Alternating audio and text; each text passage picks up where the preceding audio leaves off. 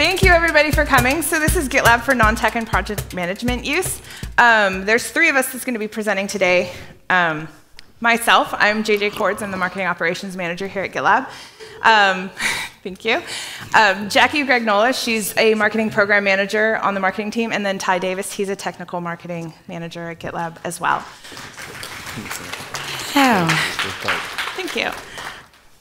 Um, so this is our rundown real quick. Um, we are going to, well, we just did our introductions. Um, we are going to be playing a game, and then we're going to be doing some basic concepts, a couple case studies, and then um, we will get to Q&A and possibly a live demo. Um, but to kick this off, I'm going to hand it over to Jackie so she can explain uh, the game. All right, so we're going to be very hands-on. Ooh, not, okay. We're going to run a game. It's the gumdrop exercise. So some of you may have done this. It's a good opportunity to learn hands-on how project management is done. So we're going to break you into groups, and Tye's going to come around and just form five people per group. So you have to be close And I'll describe the rules. So Um, all in this game, we close to each have one seer, and you're the person who's going to be You don't wanna be looking at the. Oh, gumdrop. Uh, yeah, you can come with him. I don't know what to call it, You like five, structure, and you're able to describe to the runners what you're seeing. They can't ask questions, and the runners are going to be running back and forth, getting the information and passing it off to the builders. The builders are the ones who are, or is the one person who is going to be building the structure, using the information received from the runners. And you'll have one observer as well in your group, and they're just going to be watching everything. Choose somebody who is comfortable with public speaking because you'll be giving a little bit of um, a rundown on your group at the end. So just a quick note, observer, feel comfortable with public speaking. So choose one seer, one builder, one observer, and the rest are runners. The seer is the person who will see the structure. They're allowed to describe to the runners what the structure looks like. The runners cannot ask questions. There's no back and forth, but you can use nonverbal cues. And the runners are going to be running back and forth, taking what they've heard from the seer and describing it to the builder. So and the builder is going to be trying to put together the exact replica of the structure of gumdrops and toothpicks. Okay, you've got 15 minutes starting now. The runners can come over here, get the information from the seer, and run back to their group. Yeah, multiple runners can be over there talking to the seer at the same time. You can't ask questions of the seer, the seer can just say what they saw. Runners can't see the structure. Runners, no talking. Observers, no talking. Seer, you can talk. I would recommend not eating the gumdrops as they have been handled by other people. All right, will the observers please get your final product structure of your group and come up on stage? We'll go one by one, and you'll have 30 seconds to just kind of give us a, a rundown of what you saw, some questions you might Grab the structure. want to go about. What was difficult about the process? Was it difficult to get some of that information back and forth? Um, and just general observations. We'll start on this end. Yeah, we'll start on this end. So, Caleb, do we Come, have a come down here a little bit, Kayla. thing? Here, you can just speak into Can I this. answer all three questions or? No. Yeah, no, you can just just general Scoot down, guys. That's Scoot down. You come, Mark. Go ahead. Well, hello everybody. go ahead. And then you two at the Um, hope everyone's having an amazing day so far. Uh, first observation that I saw was there's a lot of inefficiency. Uh, there's a lot of one person seeing something, right? And then there's a lot of downtime here where nothing's happening. And our, our poor builder here is just sitting waiting to receive instruction. And that's just wasted time. Uh, there's a lot of manual work that's coming back and forth. And then also from an observer's standpoint, it's hard for me to see what all is going on. Um, so yeah, that was pretty interesting. But as you can see, we have this lovely uh, science project here. Not sure. You did an amazing job.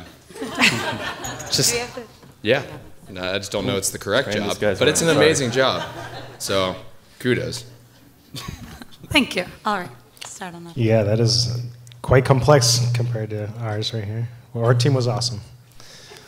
so the seer, the seer was observing information that was passed on to the runners, who also both deliberated and talked about interpreting that information, then hopefully remembering it by the time they got down to the builder who the builder took on that information and tried to extrapolate whatever it was the runners were talking about and uh, trying to put together a structure.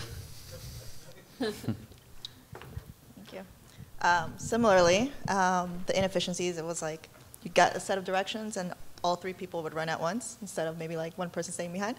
Um, but also similarly, instead of like breaking it down into pieces, I think sometimes you try to do the entire thing um, and try to get the full idea of it instead of saying, okay, let's take this first half, one person is in charge of that part, and then kind of break it down. Sorry. And here's a look at what Yeah, it's they developed. It's 2D, but good colors. All right, Joyce. So this is our first dot-com failure. um, so the approach that our seer took was to break down into the component pieces, so numbers of dots, number of uh, toothpicks in each color. So um, that worked almost well, but right from the get-go, it was wrong. So um, it was, and I'm not sure if it was wrongly said or wrongly interpreted. Um, it was a bit like playing um, Chinese whispers or telephone. And then the problem was um, one person could use their eyes, one person could use their mouth, one person could use their ears. And so, even though everybody had all the component pieces, they were only allowed to use one function at a time. And then there was no um, return communication allowed. So, um, every time there was a possibility or question, it resulted in, in people doing the best that they could with what they had. And what was interesting was to watch the frustration building up as everybody knew something was wrong, but nobody could figure out how to communicate where that was. So, so that was a problem, right? Thanks, Joyce. Mark? All right. Uh, this is rather large, so I'm just going to leave it back here. I'll lift it up. It's like a fish. Yeah, it's yeah. There, we constructed There a, a fish. There we go. And um, yeah, it's more or less the same of what everyone else has been saying. Just there's, there's this odd communication, and everything. The thing is, everyone had different communication styles, and so these there was no common language that everyone was speaking. Uh, I should point out, though, since I am from the security department, that I noticed uh, I documented uh, three bugs in the game uh, that I wanted to go ahead and report. Runners were able to eavesdrop on other descriptions. So, and I was surprised more people didn't try to take advantage of that, but that was possible. also, runners were capable of giving false information, or, or there's capable of false information being able, so that runners are given the incorrect information if they tried to eavesdrop. And then, of course, there was the uh, liberal interpretation of the uh, rules, and uh, the security department really frowns upon that behavior. Is it an issue? Is it an issue? Then it Oh, doesn't it is an exist. issue. Is it in the handbook? Yeah, the eating of the parts was bad. We, you know, every- you know, all kinds of departments are now involved, and you're all guilty. So, Thank, but anyway, thank it was you. fun though. Thank you. And Karina? Um, so uh, I was actually quite impressed with the team. I think that they got fairly close. Um, the thing that I observed, I mean, obviously it was a difficult process um, and it was inefficient, but I felt like the seer um, was very detail oriented and tried to break it down into simple parts. But even that did not produce the results. Um, even more interesting is that um, the runners did come back and verify some things and still didn't quite get it.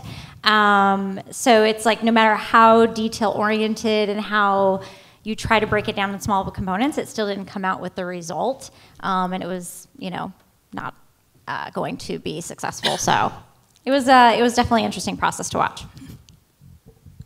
All right, so we got a dream catcher. It was fun. Um, so uh, very similar to what a lot of folks uh, were saying. Uh, it started out so good. Uh, the smallest iteration possible was just eight toothpicks. Perfect, right? Uh, then the critical problem of it's two triangles and a square came out, and that just went all over the place.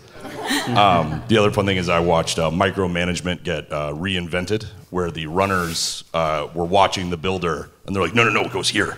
Like, no, and they just started to do it for them. Uh, so I thought I thought that was pretty funny. It's like there's micromanagement right there.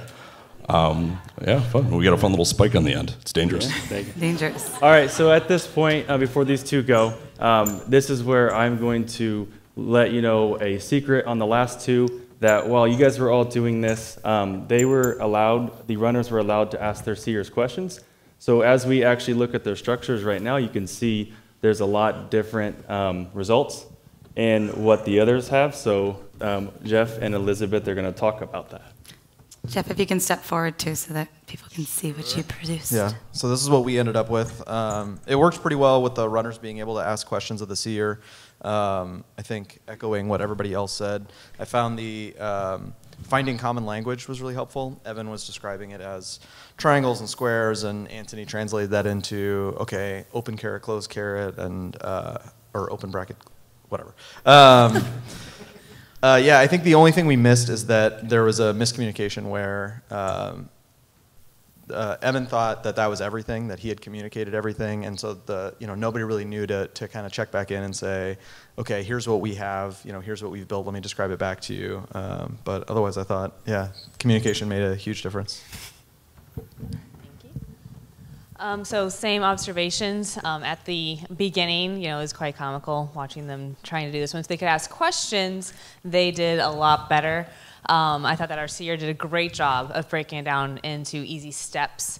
Uh, and both the seers, once they were able to ask questions, they both had different questions, even though he was still giving them very small steps. Like they still were really trying to clarify it. But then watch them come back to the builder.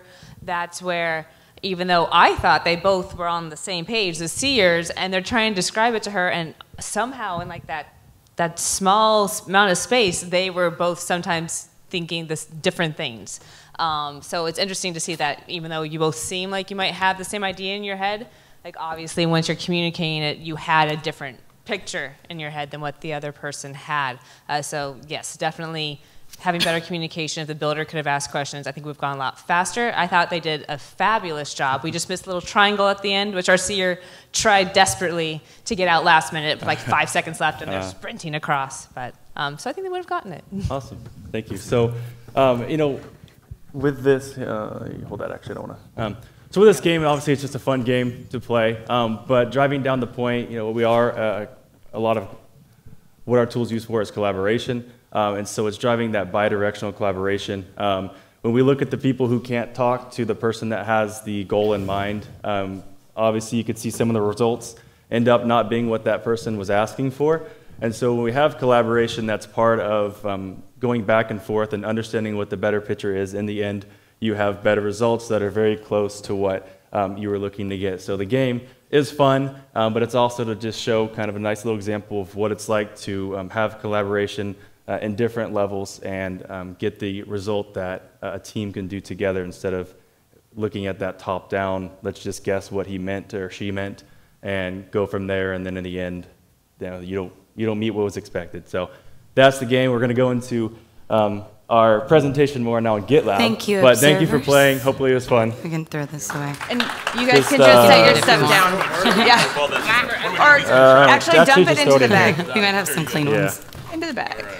If you want dots, um, you can, we have some you can eat right here. We have some not Some dirty ones. Non-touched. Non-touched. Sorry. Right, with that, I think JJ is going to kick off with talking a little bit more specifically about how to use GitLab for non-technical and project management use. Thank you. JJ. So here's the basic GitLab concepts and project management. Thank you. Up. Okay, so this is probably a really bold statement, but I feel that there's actually no such thing as a non technical role in today's business environment because everybody has a role to play in software development. So, like from the apps that you play on your phone to what you're doing within GitLab and actually what you do within an operating system, all of that information is getting fed back to the people who developed that.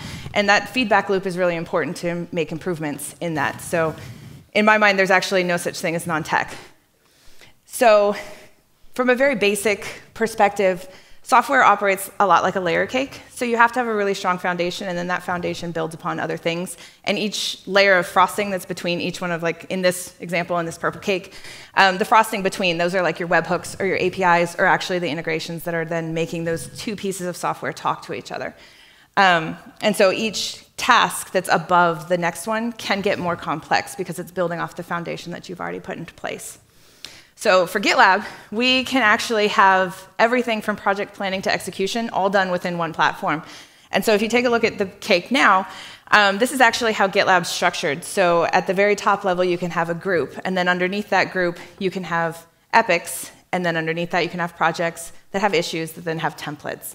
And so all of those pieces together can actually stand alone, or you can put them all together, and it makes a really awesome um, process and a workflow, and you can actually have lots of teams working together to get something massive done, but you've broken it down into little pieces.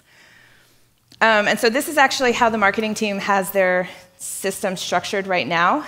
Previously, we had everything into one big bucket, and it was just called general, and then we just would work from that. We've shifted to allow everybody to have their own project.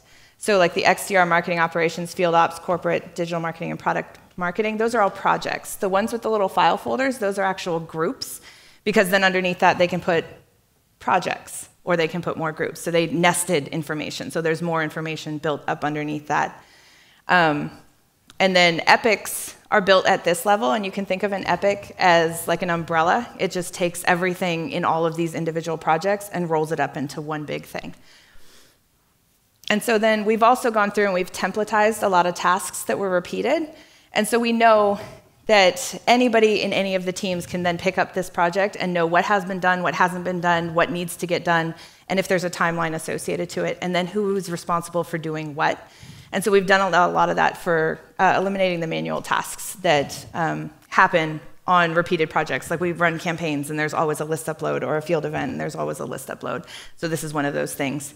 Or if like we're always running a digital ad, that's there's certain things that have to happen. And so this is like the checklist. And so you don't want to do that every time and have variances, so you templatized that. And so then we also created a unified view to track our progress. So within marketing, we actually, our CMO has asked that we all use the exact same amount of labels. And so we have status, work in progress, review, and then scheduled. And so this view actually gives him the ability to see what everybody within the company is working on from that very high level um, and where it is within project completion. Um, and so this is an issue board, and everybody within the company use, or within marketing, I should say, uses these labels. And so Todd always has an ability to see what we're working on. Um, and then this is how marketing is chosen to observe epics and parent epics. So you can have the relationship between an epic and a child epic, and it's a one-to-one. Um, you can have multiple children to a parent, and you can get further down, but marketing has only chosen to do two different levels. So it's a parent and a child, and then you have issues underneath it. Um, but you can only have one issue associated to one epic. You can't have issues associated to multiple epics. Yes. Um, Jackie's actually going to do that in just one second, and then if you still have questions, we'll cover them at the end. Yes, ma'am. Yes. Okay. So within GitLab, thank you. Um, there is a change in terminology. So parent epics was what they used to be called. They're actually now called ancestor epics. I don't know the reason behind that, but that is what it is. Um, and so, just from a project management standpoint, you want to define what your ideal state is, and then you want to create that framework. So, you have to have a really strong foundation before you can work from anything. Um, for each piece of the project, you want to make sure that you have a DRI, which is a DRI, it's a direct responsible individual. Um, they're the person who's responsible, like um, our director of uh, field ops, he likes to call it one neck to choke. So it's the one person responsible for that thing, and that's the person you can follow up with. Um, and then, like I said, you templatize the re repetitive tasks, and then you set SLAs. So based on like the due date, you work backwards and figure out how much each piece should be taking and then create rules of engagement and definitely have like a feedback loop. So like in our example and in this game, the people who could ask the questions and ask for clarification, they got closer to this structure than the people who could only go one way. So you want to make sure that you have that feedback loop. Um, and you can iterate the process as you go. So if something's not working, change it. Um, so like I said, Jackie's actually going to now jump into, oh wait, sorry, documentation. Um, it's always very important to document what you're doing. Um, in our marketing handbook section, you actually can see the entire structure that we've done, issues, milestones, templates, groups, projects, all of it, um, and what all the different labels mean. And so anybody new to the company can actually jump in and read this area and get a really good idea of what it is we're doing and how to interact with the issues and projects in our section. So now I'm handing it over to Jackie, and she's going to talk about the integrated campaign. Thank you, JJ. You're welcome. All right, so I'll just share kind of an example of how the marketing team has been using epics and issues. And a good example is the Just Commit campaign that we began in January of this year. So it was our first integrated campaign. And if you're not familiar with what that means, it's basically landing a single message across all channels. So using social media, digital marketing, uh, all of our content, our website. And in doing so, it was involving a lot of different team members. So we had field marketing, content marketing, digital marketing, marketing operations, business development, and SDR organization. There are a lot of people involved. And initially, when we were kicking off, I had a Google Doc and I had, okay, here are all the different things I can think of that we need to do. And then realized we could do this in GitLab. So doing so was our first kind of test into using epics to give um, kind of the high level information and then organize the group into a single unified vision for what this campaign would become. So this is our, well, ancestor now campaign, which is basically giving you a full level look at the campaign personas, messaging, quick links to the recordings of any meetings that were taking place so that if somebody maybe was missing something, they could go back and rewatch if they needed to. And the goals of the campaign, the messaging. So here's another look. This is just two screenshots of that parent epic where we also included key timelines. So what needed to be done by what dates to hit a very, very tight timeline and deliver delivery date of February 18th. So you can also see we, we documented who the team members that would be involved, so what different team was responsible for what different part. And from there, we got more specific. So the parent or the child epics, we included things like the events and webcasts and emails, what, were, what was the sales enablement that needed to take place, what was the content that we needed for each key pillar, and positioning and messaging was the first thing that we took, in, took into consideration. We also used labels that said just commit, and that just gave you the flexibility to use the issue list to say anything with the label just commit, let's see where we stand, what's still open, what needs to be done. And in this example, this was the strategy and design epic. And in this, we had lots of different tasks. So you can think of the issues as the task that needs to get done. Each issue has a directly responsible individual, like JJ mentioned, and it had a due date. And these due dates were really important because there were a lot of dependencies that were happening. We couldn't work on the content until we knew what the message was. We couldn't work on anything related to digital marketing until we had the designs approved. So this just kept us organized and saying what do we need to get done by what dates and keep us on the timeline that would help us hit that delivery date. Here's another example. It's the positioning and messaging epic, and this was the first thing that we were jumping into. And again, this was like a lot of the things that were dependencies for other groups to be able to complete their work. And with that, I'll turn it over to Tye, and at the end we'll have questions. So if you have things related to that, we're good on time. We'll be able to jump on it. All right, now it's my turn to talk about um, how product man- or marketing um, uses GitLab to do project management. So um, I'm in technical marketing. Um, I know some product marketing people out here. Um, the way that JJ described is you have marketing, and then you have uh, marketing is that group, and then there's several projects that are labeled either like marketing ops. Um, there's product marketing, and then I always forget the rest of them, which obviously I'm focused on product marketing, so I click on that one all the time. Um, but you have that project and group structure. Now, there is uh, examples like if, and I'll talk a little bit connecting this on the technical side, but you can create subgroups and all that stuff. But the way we do it is that um, parent group or ancestor group, and then the projects that are within that. I'm to be more specific on talking about just how we use the board views. Uh, you have the group project structure, you have epics that reside within groups, and then you have um, issues that are created at the project level. Um, issues can roll up to the group, so if we have these different marketing groups um, that are specific projects, we can go to the marketing group, and all issues from all those different projects will roll up, and then you can see uh, in a board view there everything that's going on from all the different um, marketing groups.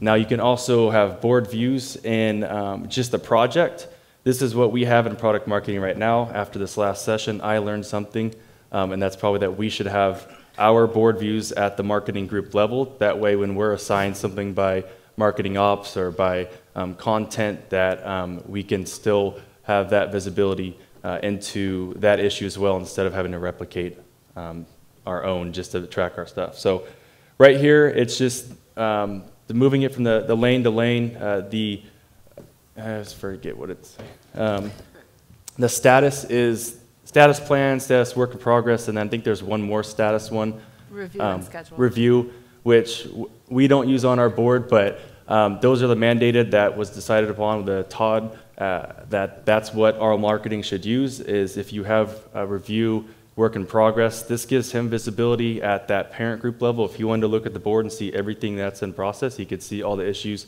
that are correlated with that, that label.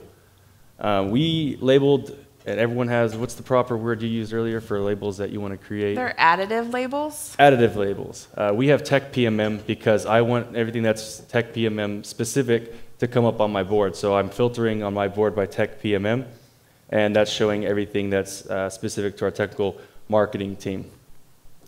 Uh, we use the, we, we could create boards based on assignee. So this allows us to see uh, who has um, what issue, what they're working on. Um, maybe your manager just wants to see what the team's working on, or you're uh, being a collaborative, agile team and want to just see what everyone's doing or what you can work on together. Um, you could see the specific issue that that person's working on, and you can organize that uh, by assignee inside of the board views. Um, something that's not often used right now, uh, and this is something that's even for our customers trying to get them to use more often, is the burn down charts. Uh, we categorized it by, we as in product marketing, so this maybe should be more aligned, but as Q1 FY20 and added that milestone to our issues to take a step back and say, what is a milestone? Uh, milestones is somewhere where you can define a time increment um, so you can have a start and an end date. For us, that was Q1. So in this particular case, it was four months. Uh, and so in that milestone that we defined, it was January 1 to um, what month are we in? April 30th.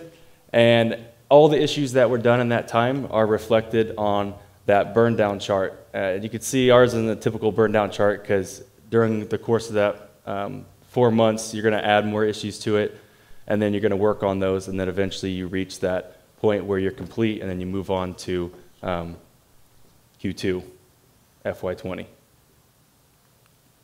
Where are we on time? Okay, we got time. Um, so relating this to customer. So my job is technical marketing. So um, I've worked a lot with agile planning tools.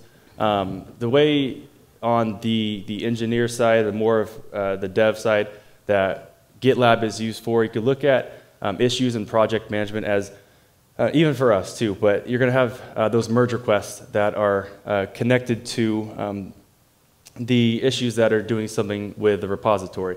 You could do that for us as well if you're changing something in the handbook. Uh, you create a merge request and you tie that to an issue. Uh, but for a customer, um, if they have their application, they're working on that, um, they create an issue. An issue is a problem, an enhancement, uh, maybe an addition to something. Um, that's the starting point where you're going to move that in, in the, the lanes that you saw to you know, work in progress or complete. And then you have that merge request, uh, which is tied to the issue. So I create an issue. I'm a developer. I see, okay, I need to work on this. Uh, I'm going to create that merge request and then check out a branch from the master branch, get working on that, and then uh, have the ability to collaborate inside that merge request or inside that issue. Once we've defined our, um, it, once it's done and you know it's passed, then uh, closing that merge request will close an issue, and then there's a lot more to the process in terms of what we do with auto DevOps and stuff. But for a customer that's doing um, more engineering or even our own uh, GitLab uh, engineers, you are doing um, you have that issue as a starting point, and a merge request is that fix or that addition to make sure that issue is completed. Um, aside from that, going back from customers just to us, I think uh, we just need to move our board to your board. So I need to move it up to the, the group level so that um, I can just roll up all issues that are connected to us in there. So we have actually more time this time for you to Yeah. go through. Um. Thank you. So just to kind of explain what we mean by the different levels of GitLab, I'm actually going to jump just right into our GitLab instance. Um, so within GitLab, like I said with the layer cake example, there's lots of there's lots of layers. So GitLab.com, that's the highest level of all of GitLab, and underneath that you'll have a lot of different groups. And so you'll see things like the marketing group, BizOps, BizOps group, there's sales, et cetera. And each one of those can then have their own projects underneath it. You can build an Epic and issue board at this level, but then you can also jump down into just this marketing specific level and build issue boards and epics at that level as well. Um, the difference between the two levels is if you build the issue board at this top level, it will roll up everything from every other project underneath it. If you build it down at the marketing level, it'll only pull things from within marketing.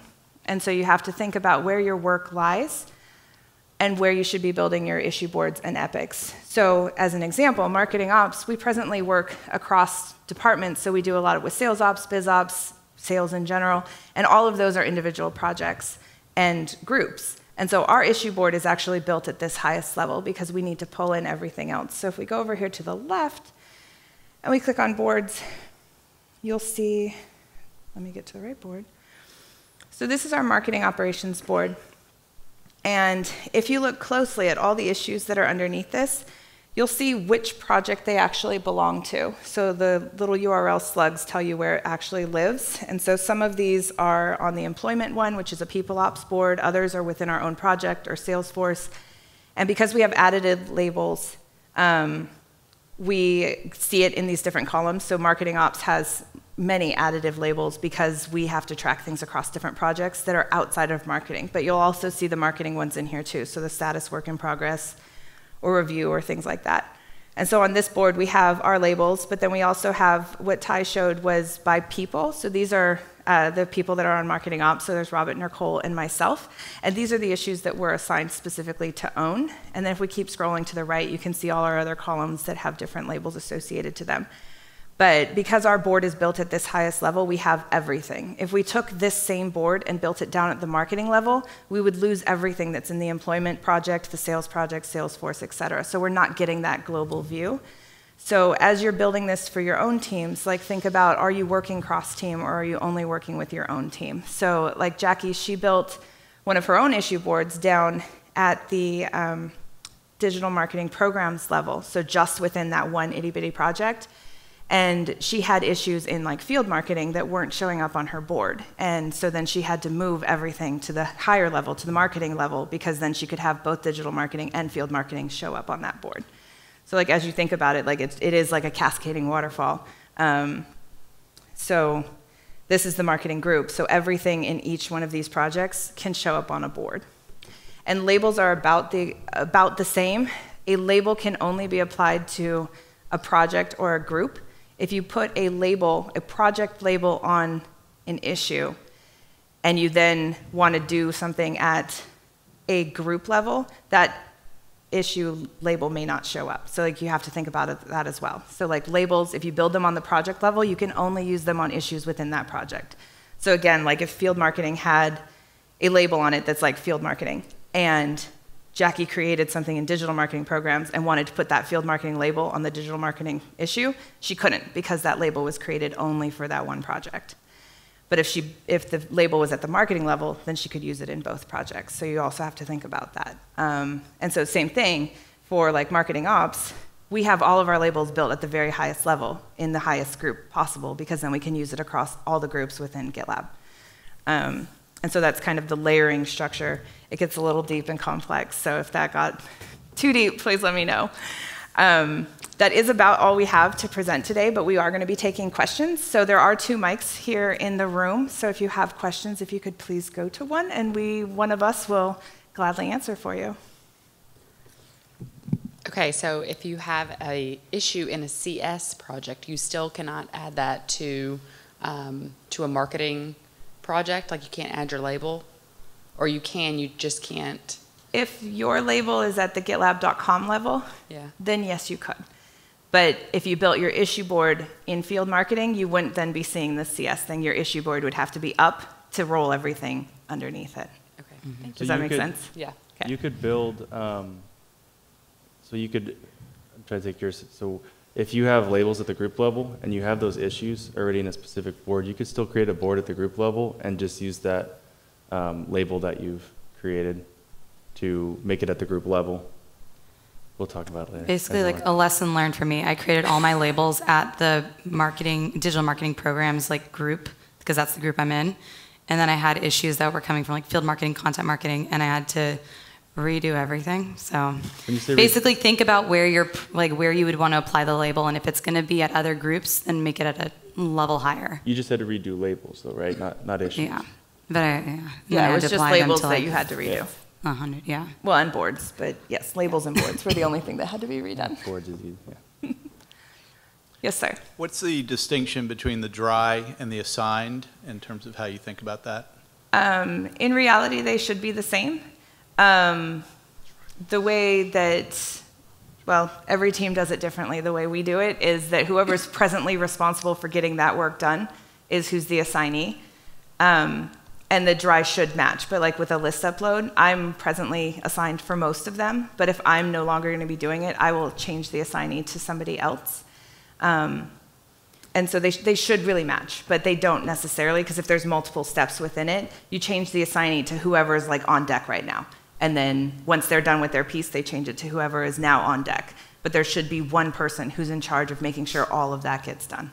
An example from Just Commit, because it was like I was learning who was in charge of what. Um, I wouldn't set the assignee or the due date until I had negotiated with the person, like, will you be able to get this done by this date? We need it for this other dependency. Um, and once they agreed that they were the correct person to be doing it and that they could do it by the date, that's when we would assign that, just as an example. Okay. And then when you're doing MRs, how do you know who to assign the MR to? The way marketing does it is you generally assign it to your direct manager um, Okay. or the operations person within your team. Okay. Yeah, so if you are assigning an MR to somebody that doesn't have merge rights, you'll see a little red triangle next to their name um, on the MR, and that just indicates that they don't actually have merge rights and can't handle that for you. But if it's something that you're needing them to look at before it gets merged, I would still assign it to them, and then they can reassign it to somebody who has rights to merge it. Who has rights to merge things? Send them all- Myself, um, business ops, um, a few people in people ops do, and any of the infrastructure team does as well. When you're looking at a discussion on a merge request, um, some people have the word uh, maintainer in a little, Yep. a little label next to their name in a way. So that's something I've only just discovered recently. Is that rather than sort of trying to like assign, oops, that's not right, assign, oops, that's not right. If someone in the discussion has maintainer next to their name in the discussion, then they can they can pick up merge requests. Yeah. No, just like a little tidbit if you don't know it. I mean, you can also, if you get a comment to you and you get that in an email, you can reply in your email and it'll show up in the issue. Um, Yep, that's and then really you, there's helpful. integrations with Slack and Mattermost. So if you wanted to get notifications, anyone to build out, or just, yeah, it's not that hard to add those integrations, but still you can get notifications via Slack on comments. Yes, Francis. Uh, just curious, how are you guys using uh, weights for issues? I just kind of pick random numbers, but At the moment, uh, most of marketing is not using weights. Uh, the product marketing team or the technical marketing team might be. I know the data team is using it, um, and they're using it kind of like the Pythagorean, where it gets bigger. Um, so it starts with one, two, then it goes to five, then 13. Like The it goes all the way up to Fibonacci 13, 1 to 13. So with weights, it's um, not just with us, but even with uh, customers who are approaching Agile, it's always um, not the, it, it has to be a complete buy-in by everybody. Everyone has to decide on the scale that they're using, like the Fibonacci scale, and they have to, you know, be able to weight the issues in, in that manner because like I tried to do it in product marketing, but I, obviously we haven't, I did it for my personal self. It's not like I talked to the rest of the team. It's like, hey, this is what we've decided. Um, weights, there's not a GitLab standard right now There's for not. weight.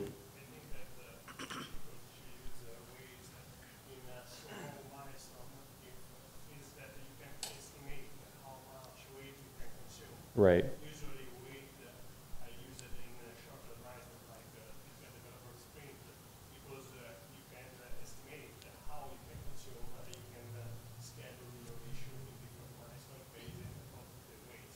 Exactly. So,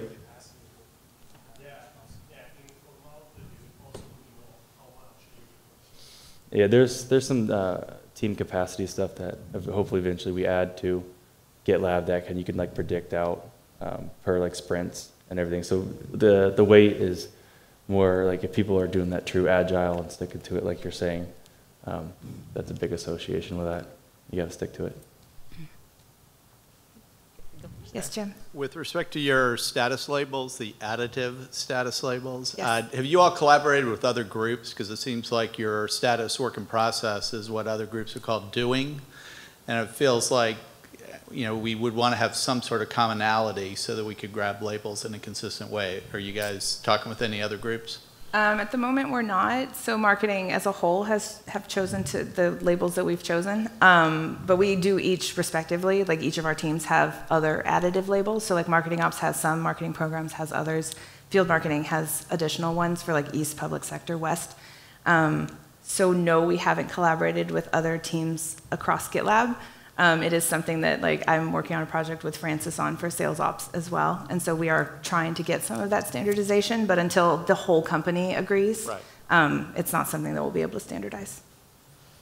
Yes, ma'am. Okay, quick question. So, is there a way to um, create an MR in a group which, when it's merged, close an issue in a different group? Say that again? Yes. The question is, can you create a MR in a group that doesn't, that will close an issue in another group, Yeah. right? Um, yes, you can. Um, so in every MR, if you do a slash command and it's slash, um, you do slash close, and then you just put the link of whatever issue it is that you're wanting to close, it'll close it wherever it happens to be. Okay, You could also put the issue number too. Yep. cool. Thank you. Well, you're welcome. You can go. I'll let him So thank you, because you just changed my life that you can do issues and boards at the GitLab.com level. That's awesome. Um, I was quickly trying to find the answer to this, but do you know if it'll go into private groups and repositories like Legal Tracker? The compliance team has some stuff that isn't visible to other parts of the organization. I'm wondering if you can still aggregate some of that information up. You can't. If it's a private thing, then it won't be showing up. Cool. Thanks. Yeah. Hi. Um, so you were showing it first, right, at the group level. I'm part of the public sector team, right? Mhm. And then you have the marketing team underneath it. So things that are happening at the marketing level that end up, you know, end up, I guess, breaking down into the specific issues, they have their own labels. But on the channel side, uh, which mine is under public sector, I'd love to be able to uh, tie my label in there for like partner marketing into what it is that's over at the marketing group level. Is there a way to do that, or no? Because it's it's two different groups, and Um, it is possible. So if the label is built at a level higher than both of the groups, then you'd be able to put that label on either group and have it show up. Okay. Does that answer your question? it, yeah, it does. So what would be higher than that? If I'm looking at um, like you know the first place that you start off was um, what I thought was groups, right, which is at the highest level. So this level? Uh, yes. Yes. If you put your label at this level, then it'll work in your channel, and then it'll also work in marketing. Um, but then your issue board would have to be built at this level also to be able to pull in both of those issues from the two respective places. Perfect. Yeah. Thank you. If you need help, please It's reach fine. out. We're more than happy to. Um, are there any other questions? Nope. Okay. Um, there is a survey in your app. If you wouldn't mind giving us feedback, that would be awesome. Otherwise, thank you for coming. And if you have any questions, please reach reach out to any of us on Slack. We're more than happy to help go through these. Um, we will also get you slide copies if you'd like that. So Thank you. Thank you. Thanks, everyone.